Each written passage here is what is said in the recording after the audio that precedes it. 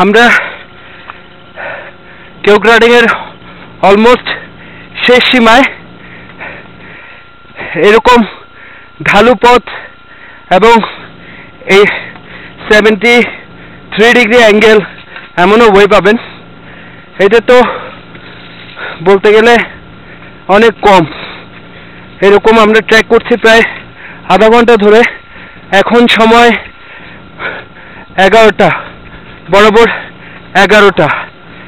আশা করছি আমরা দশ মিনিটের ভিতরে উপরে ওই চূড়ে পৌঁছে যাব। ওইটি কেউক্রাডিংয়ের একদম সর্ব উঁচু চূড়া। ও গড ট্রেকিং হাইকিং এগুলোতে না আসলে আসলে বোঝা যায় না।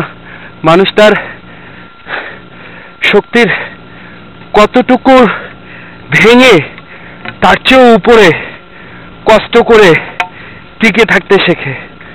সার্ভাইভাল কন্ডিশনের জন্য বা মানসিক শক্তির জন্য ট্রেকিং হাইকিং অবশ্যই জরুরি। আমি আফতাব নজির চৌধুরী সত্যি ভাগ্যবান নিজেকে মনে করি, ক্যামেরার পেছনে কাজ করে। কষ্ট তখনই সার্থক হয়, যখন কষ্টের পর মুখে হাসি ফোটে।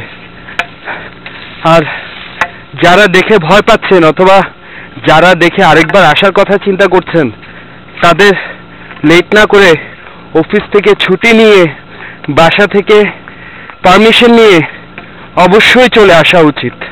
কেননা এর মজা অন্যরকম। লাইফে আপনি সব রকম মজা পাবেন, কিন্তু ট্রেকিং এবং হাইকিং এর কষ্টের পর যে একটা খুশি সবাই দেখে আপনার দিকে যেভাবে তাকাবে এবং মনে মনে বলে উঠবে, বাহ, আমার মতো আরেকজন পেরেছে। এর চেয়ে আনন্দের আর কিছু হয় না।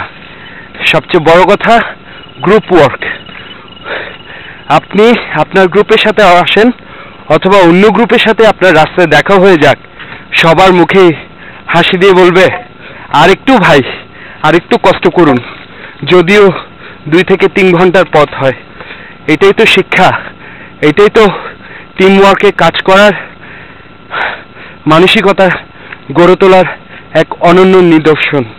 আসুন, আমরা কেউ ক্রাউডিংয়ের পথে হাঁটছি, বাকিটাও আশা করছি আর কিছুক্ষণের মধ্যে দেখব।